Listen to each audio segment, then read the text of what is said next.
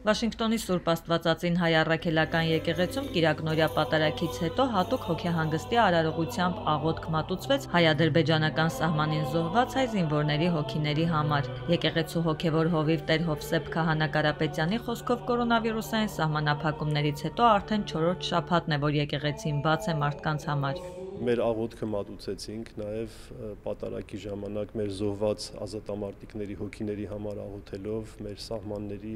անսասանության, խաղաղության համար աղոթելով պատարակից անմիջապես հետո։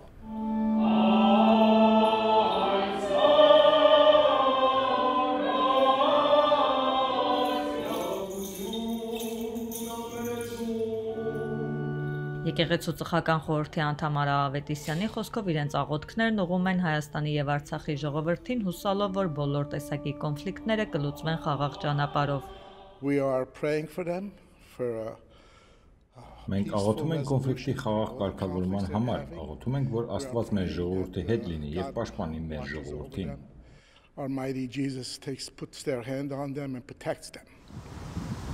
Արուս Հակոբյան, Ամերիկայի ձայն, Վաշինգտոն։